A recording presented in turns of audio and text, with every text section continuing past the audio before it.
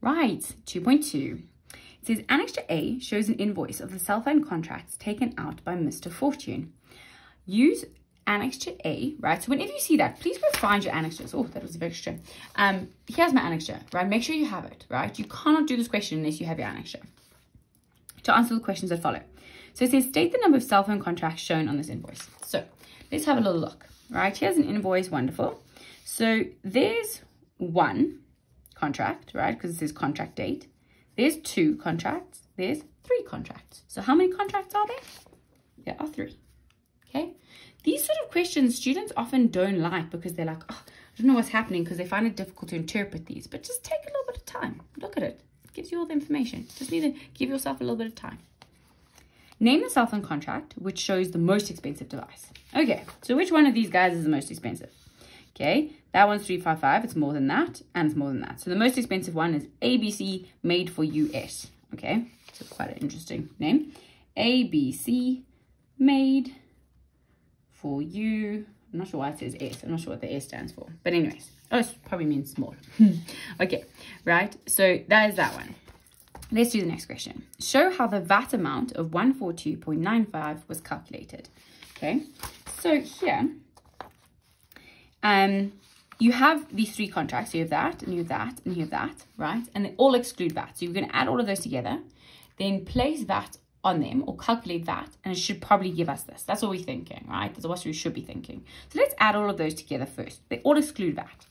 So we say, firstly, write your um, number down, your question number down. Then we're going to add all of these guys together to see how much we are getting to of our three contracts.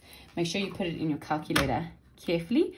355.65 plus 2, no, 260 plus 337.35 and that gives us 953. Now, oh, wow, my handwriting today. Okay, 953. Then we need to work out VAT, right? So how do we work out VAT? VAT is 15%. You can write that. Um, you could also write it like this, however you want. Okay. How do we know it's 15%? Firstly, you should know that in your head because it's part of what you're required to learn.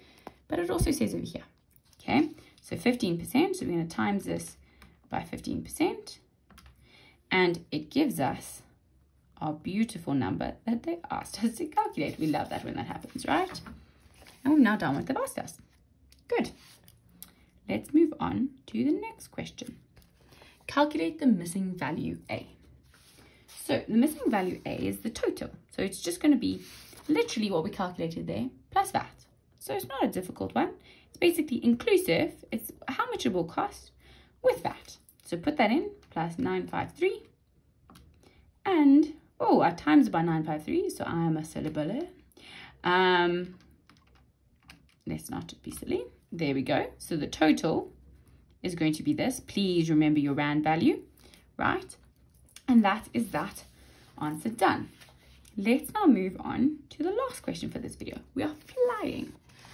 State in words, right? So you can't be doing in numbers because they're asked in words, the probability of randomly selecting a cell phone contract that is not from ABC.